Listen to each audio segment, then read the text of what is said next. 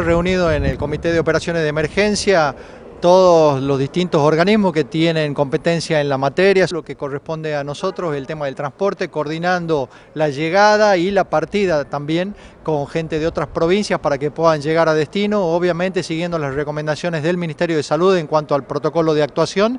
que se los revise, que esas personas están en condiciones de poder trasladarse, que no presentan síntomas febriles, gente que está llegando a la provincia de Tucumán proveniente de otras provincias, como ser aquellos trabajadores golondrinas o los que están viniendo de otros países, por supuesto ahí activando lo que es el protocolo de actuación en materia de salubridad para cumplir con todas las recomendaciones dentro del marco del Comité de Operaciones de Emergencia. Desde el ente de turismo a nuestras oficinas de información y nuestro personal de información turística, eh, eh, está accesible a través de WhatsApp, mail eh, y teléfonos donde cualquier persona que está en Tucumán y necesita volver a su lugar de origen, a su provincia, se comunica con nosotros, podemos evacuar dudas y a partir de armar ese listado de personas que están en Tucumán y necesitan regresar a su provincia, coordinamos junto con la Secretaría de Transporte de la provincia y la Comisión Nacional de Regulación del Transporte las posibilidades que existen con las autorizaciones pertinentes. Ya han regresado dos vehículos que se han habilitado con las autorizaciones correspondientes